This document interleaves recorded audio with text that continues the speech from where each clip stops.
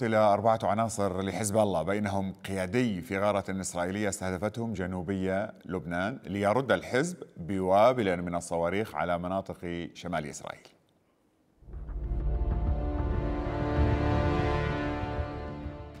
في الجنوب اللبناني وشمالي إسرائيل حيث التصعيد يسلك طريقه نحو حرب باتت أقرب من أي وقت مضى وفق ما يحلل خبراء عسكريون. الأنظار تترقب والعالم يحذر لكن طرفي الصراع لا يكترثان فكلمة الفصل تخطها الصواريخ والمسيرات. التصعيد مقابل التصعيد. تلك هي رسائل الطرفين وفي أحدث فصولها مسيرة إسرائيلية استهدفت بالصواريخ منزلا في جنوب لبنان وأسفرت عن مقتل أربعة أشخاص بينهم طالب سامي عبد الله وهو أبرز قائد بحزب الله يقتل في المواجهات المستمرة منذ أشهر. تقول رويترز إن الأشخاص الأربعة كانوا على الأرجح في اجتماع مهم. وما هي إلا ساعات حتى رد حزب الله بوابل من الصواريخ أطلقها باتجاه مناطق الجليل وشمالي غور الأردن والجولان السوري المحتل. تقول إذاعة الجيش الإسرائيلي إن الصواريخ هي الأكبر عددا التي يطلقها الحزب في يوم واحد منذ الثامن من تشرين الأول. تطورات تنسف الدعوات الدولية للتهدئة لا سيما وأنها تأتي بعد أيام قليلة من ترحيب رئيس حكومة تصريف الأعمال نجيب ميقاتي بالبيان الصادر عن قادة فرنسا وأمريكا وبريطانيا وألمانيا الذي أكد ضرورة الحفاظ على الاستقرار في لبنان وخفض التوتر على طول الخط الأزرق وفقا لقرار الأمم المتحدة 1701 كل ذلك بات يثير تساؤلات عن موقف نظام الأسد فما زال ينظر بعين المراقب بينما محور المقاومة والممانعة يحيط به من كل حدب وصوب بل ويلاحقه إلى حيث كان لطالما تغنى به لسنوات طوال. ضربة قوية للحزب لا شك في ذلك. آخر الأخبار اللافتة في هذا الأمر آه، هو ما قاله مسؤول في فيلق القدس الإيراني لل Foreign Policy قال أن حزب الله لديه مليون صاروخ. نعم كما سمعتم هذا هو الرقم. نقلته ال Foreign Policy عن مسؤول في فيلق القدس الإيراني وإيران لم تنفي هذا الرقم. قال لك حزب الله يمتلك مليون صاروخ. طبعا مليون يعني من أنواع مختلفة صواريخ دقيقة صواريخ كاتيوشا معدلة صواريخ مضادة للدبابات يعني تشكيلة متنوعة من الصواريخ من الدقيق إلى العشوائي من الشديد إلى الضعيف من القوي إلى اللي الصلب إلى اللين. كم العدد؟ مليون. هذا مسؤول في فيلق القدس الإيراني. يعني مليون. طبعا وطائرات من دون طيار ويعني مزو وطائرات مزودة بصواريخ روسية الصنع و يعني وسعت منك قوي على رأي إخواننا المصريين يعني. البعض هكذا يقول يعني وسعت منك قوي مفهوم هذه حرب دعائية. ما حصل بالأمس متوقع في السياق. هذه الكرة تتدحرج. تتدحرج. ومن المتوقع كذلك غدا وبعد غد أن تكبر أكثر فأكثر. هل يوقف هل يوقف أحد ما هذه الكرة؟ ربما لا يستطيع أحد ما أن يوقف هذه الكرة. السيد الرئيس أنا أعلم والكل يعلم أنك تراقب ما يحدث في جنوب لبنان بدقة ودقات قلبك يكاد الكون يسمعها. طالب عبد الله أبو طالب أبو طالب آه طالب سامي عبد الله. أبو طالب. هذا أبو طالب آه ثاني أكبر قيادي تضرب تقتله إسرائيل آه بعد آه وسام حسن الطويل. منذ انطلاق أحداث طوفان الأقصى وسام حسن الطويل هو كان قائد فرقة الرضوان. هذا أبو طالب الحاج أبو طالب هذا قائد وحدة لا قائد وحدة يعني وقائد ميداني كبير. لا بل أنه هذا أبو طالب هو قائد وسام حسن الطويل. وقائد حسان اللقيس قتلته إسرائيل كذلك هذا في 2013 البعض يقول أن حزب الله والإيرانيين يكادون يصلون إلى مرحلة العقم في مستوى القيادات صف أول وصف ثاني. هم ما بقي أحد. أصلا هذه فرقة الرضوان تعرضت لنزيف هائل في سوريا.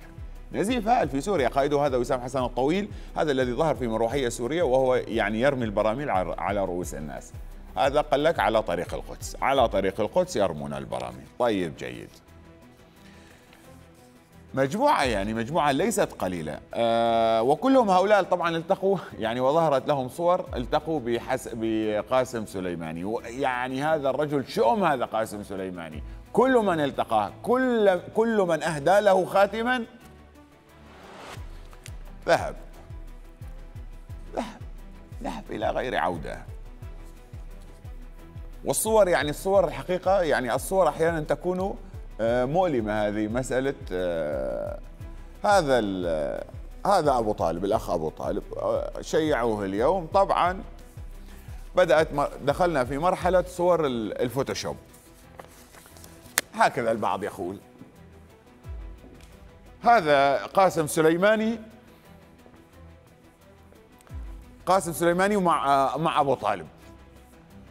ذهب ويلبس الخاتم. يعني أعطاه خاتما ذهب الاثنان. كل من قبل جبين هذا الرجل قتل.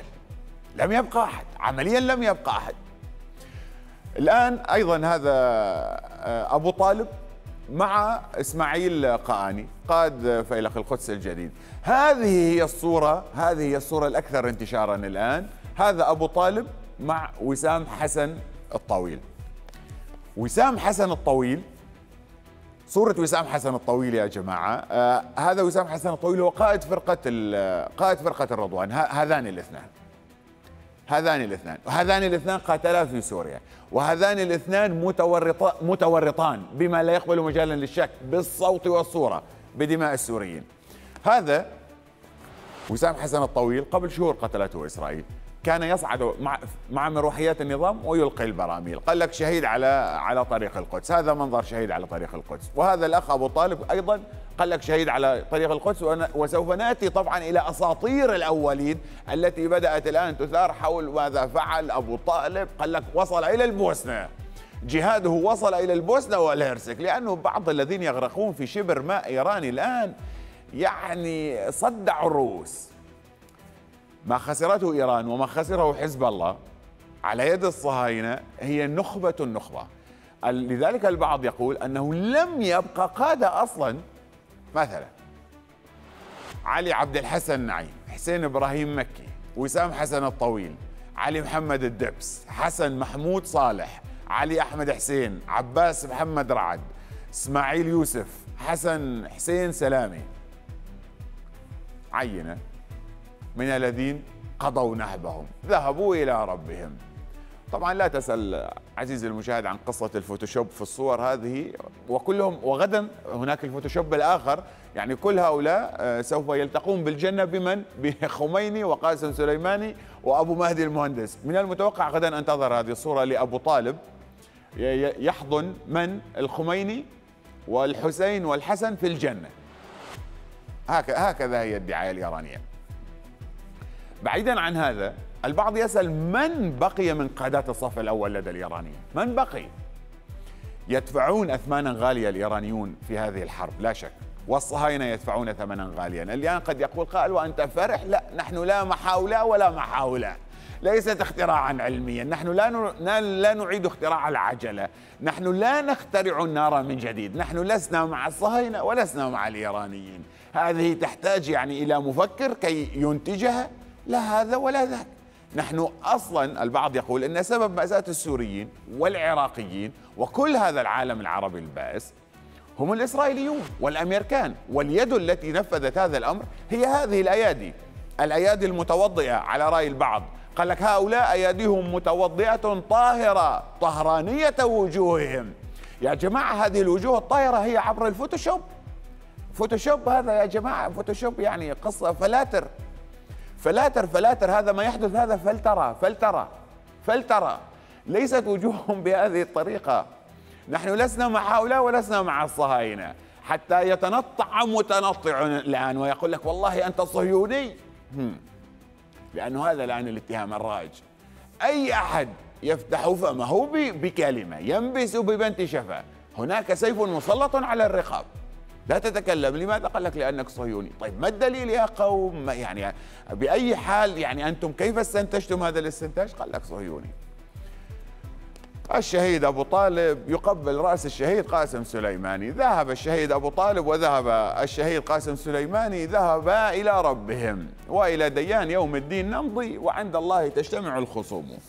نصيحة للبعض يعني حنانيكم. حنانيكم ورعوا قليلا في مسألة أنه والله هذا شهيد وهذا ليس. هذه هذه عند الله سبحانه وتعالى. هذه من مهام خالق الخلق. من مهام خالق الخلق ليست من مهمة أحد.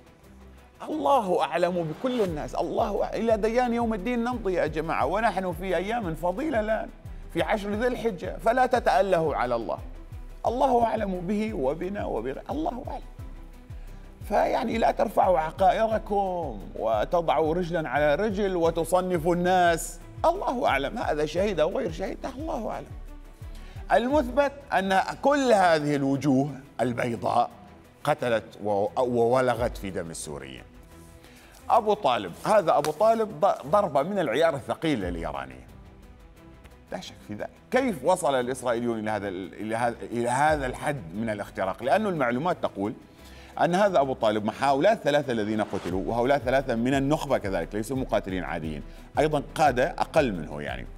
عندما دخلوا إلى المنزل اتت طائره F 35 إسرائيلية شبح هذه الطائرة الشبحية. وتحديدا هذه الطائرة لم يستخدم مروحية لأنه حزب الله بدأ يكشف عن مضادات للطيران قوية جدا. لذلك أتى الإسرائيليون الصهاينة بطائرة F 35 شبح.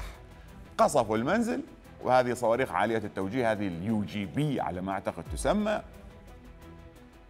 قتلوهم أربعتهم ورحلوا حزب الله أطلق 100 صاروخ اليوم ردا على هذه العملية والصراخ على قدر الألم. الآن الصهاينة سوف يردون والحزب سوف يرد وهكذا دواليك دواليك حتى يفرمل أحد ما أو يوقف أحد ما ما يجري. وربما لا يستطيع أحد على سطح الأرض الآن أن يوقف ما يجري. ربما لا أحد يعلم. أبو طالب. ضربة مؤلمة للحزب. كيف وصل الإسرائيليون؟ كيف اخت... طيب أنتم تخترقون يخترقونكم في سوريا؟ السيد الرئيس يسرب. آمنا يعني السيد الرئيس يسرب. يسرب السيد الرئيس. يسرب هو وضباطه. يسربون. يسربون. آمنا طيب كيف في جنوب لبنان في في معقلكم آه، تم هذا الأمر؟ يعني شيء غريب. هل هي قدرة إسرائيلية يعني بعيدا عن التسريبات على الاختراق الإلكتروني والتشويش وغير وغير ذلك من هذه الأمور يعني؟ ربما. بغض النظر بغض النظر ايا كان السبب لكن هذه ضربة إسرائيلية، الآن الحزب سوف يرد والحزب الآن يؤلم الإسرائيليين حقيقه. مستوى الألم الإسرائيلي مما يقوم به حسن نصر الله في ازدياد. علي باقر كني هذا وزير الخارجيه الإيراني قال اليوم قال على إسرائيل أن لا تقع في بئر لبنان. وأنت ما دخلك بلبنان؟ دخله بلبنان. دخله هذا لبنان يعتبر يعني لا يعتبر محافظه يعتبر حي في العاصمة طهران. علي باقر كني يقول لك يحذر الإسرائيليين عليكم الحذر من السقوط في البئر اللبناني. وإيران سوف تتعامل مع ما يجري في لبنان ليس كما تعاملت مع غزة. لن تخرج وتقول ليس لنا علم وليس لنا علاقة بالموضوع وتذهب لتفاوض الأمريكان في سلطنة عمان. لا هذا لبنان وهذا حسن نصر الله وهذا درة التاج. ربما تبازر إيران على رأسه في النهاية لكن لا يوجد ثمن مطروح في الأفق للإيرانيين يكافئ أن تخسر حسن نصر الله. لا يوجد لأنه بخسارة حسن نصر الله تقريبا بدأت الخسارة والتراجع قاقرة في كل هذا الحلم الإمبراطوري الفارسي. سوف تقاتل إيران.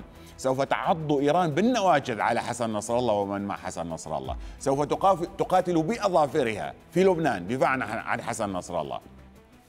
هذا أمر لا جدال فيه. لذلك آه لذلك يخرج علي باخر الكني ويقول لك حذاري. ويخرج آه مسؤول في فيلق القدس ويقول إن حسن نصر الله يمتلك مليون صاروخ. مليون. يكذب الإيرانيون طبعا يكذب الإيرانيون في هذه الأرقام لكنه هذا حرب وتهويل على الإسرائيليين.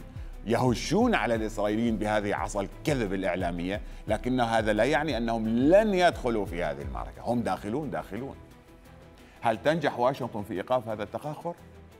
جولة بلينكن يعني بلينكن وجهه أسود تقريبا وما يجري في غزة كذلك يعني تت تت يعني تتناقض الأخبار أحيانا القادمة من من غزة، الأمر مرتبط بقطاع غزة، لا شك في ذلك. آه يعني قائد حماس يحيى السنوار يقول فلتكن كربلاء جديدة، القوم ماضون في المعركة إلى النهاية والمقاومة الفلسطينية كتاب عز الدين القسام تسطر ملاحم بطولية في القتال ضد الصهاينة لا شك في ذلك والصهاينة يعني ينزفون من خواصرهم في قطاع غزة. كيف سوف يهربون باتجاه شمال لبنان؟ نصبح على ما نمسي عليه ونمسي على ما نصبح عليه في هذه الأيام. لا عين لا شيء جديد إلا في الساحة اللبنانية الإسرائيلية. وهذا سوف ينعكس على بشار الأسد قطعا. لكن قبل ذلك في مسألة الآن لأنه بدأت يعني بدا التهويل في هذا أبو طالب وقال لك أبو طالب ذهب إلى البوسنة والهرسك وقاتل مع البوسن مع البوسنيين السنة. الإيرانيون الآن يستخدمون هذا الأمر يعني نحن لسنا طائفيين نحن ندافع عن الأقصى والعالم السني كله برمته. جالس يتفرج. وقلب العالم السني في السعودية يعني تدق وترقص. هذا صحيح الحقيقة يعني. صحيح. والإيرانيون هذه دعايتهم. نحن نقاتل وأنتم السنة ماذا تفعلون؟ أنتم يعني كرة قدم آه، رقص غناء وتتفقون مع الصهاينة في السر والعلن. هذه دعايتهم. للأنظمة. لكنهم يلبسون هذا بذاك هم يعني ويظهرون المسلمين العرب أنهم قوم نيام وخائنون ومتخاذلون وهم وحدهم الشرفاء. الآن يلجؤون إلى قصة البوسنة والهرسك هذه. وهذه ذكرها نصر الله يعني قبل أكثر من سنة. قال نحن قاتلنا في البوسنة والهرسك يعني نحن لسنا طائفيين. صحيح؟ أيام حرب البلقان أيام حرب الصرب والمذابح التي شن فعلها الصرب ضد البوسنة والهرسك في ما بين 92 و 95 تسعينيات القرن الماضي. هذا أمر مثبت وصحيح ومعروف. الإيرانيون آه، أرسلوا خبراء ومستشارين وضباط حرس ثوري إيراني آه، لمساعدة البوسنيين. لكن هذا الأمر برضا الأمريكان. وعن طريق الكرواتيين هذا الأمر برضا الأمريكان. ليس ب... وكل التمددات التي قامت بها إيران في آه، سواء في العراق أو في سوريا أو في لبنان هو كله برضا الأمريكان والتمدد في البوسنة والهرسك نفس هذا على على على هذه الطريقة. الآن أصلا الآن الإيرانيون هم مع الصرب ضد الكوسوفيين. يعني لماذا دعمتم البوسنة والهرسك على أساس من من منطلق الوحدة الإسلامية؟ طيب الآن بين الصرب والكوسوفيين الإيرانيون مع الصرب. مع الصرب. لكن لكن الذين يغرقون في شبر ماء ايراني يروجون قال لك والله هذا دلالة على القلب الإيراني الكبير. خفيفون. حامل الهوى يعني خفيفون كما قال البحتري ذات يوم. حامل الهوى تعيب يستخفه الطرب. إن بكى يحق له ليس ما به لعب. وهؤلاء عشاق إيران من الناطقين بالعربية إن بكوا على أعتاب الإيرانيين يحق لهم. إن بكى يحق له ليس ما به لعب. سوف تحاكي الآن الأساطير أساطير الأولين. حول الحاج أبو طالب وقال لك يعني كان يذهب إلى البوسنة وأتى من البوسنة وساعد الم... وأوقف المذابح ويعني كما قالوا ذات يوم من أساطير ونسجوا من أساطير على آه، قاسم سليماني. أساطير الأولين. هؤلاء أتباع إيران الناطقين بالعربية لا حد لا حد لانهيارهم. هكذا هكذا البعض يقول. آه لكن سوف يأتي يوم إذ تبرأ الذين اتبعوا من الذين اتبعوا ورأوا العذاب وتقطعت بهم الأسباب. أتباع إيران من الناطقين بالعربية البعض يقول أنه يوم قريب سوف تصدق بهم هذه الآية القرآنية. قال لك ذهب إلى البوسنة الحاج أبو طالب. الآن ذهب إلى ربه. والله وحده أعلم ماذا فعل بالبوسنة وهذه قصة أخرى ربما الآن لم يعد هناك وقت. نفتح بها ماذا فعلت إيران في البوسنة والهرسك وفي شبه جزيرة البلقان وكل الطموحات الإيرانية هناك على خاصرة أوروبا الجنوبية. لم يبقى وقت. غدا بإذن الله تاسع مساء توقيت دمشق مع توقيت في أمان الله.